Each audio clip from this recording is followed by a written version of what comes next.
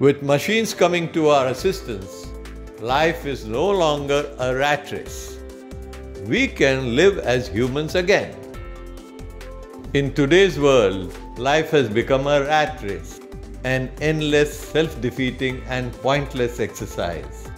An exhausting, repetitive lifestyle that leaves no time for relaxation or enjoyment.